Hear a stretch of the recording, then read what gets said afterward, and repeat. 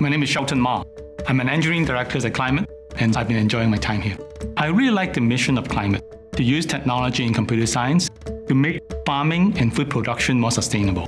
It has been always a mission of mine to see how we can actually feed the 1 billion people who will be going to bed hungry tonight. Climate, with its technologies, is actually along you know, the lines of how to actually make that happen over time.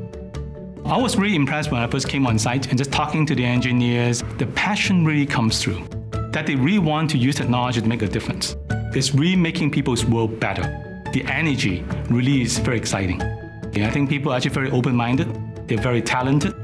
There's a lot of great ideas. People are actually open to having that transparent dialogue and conversations to figuring out what can be done.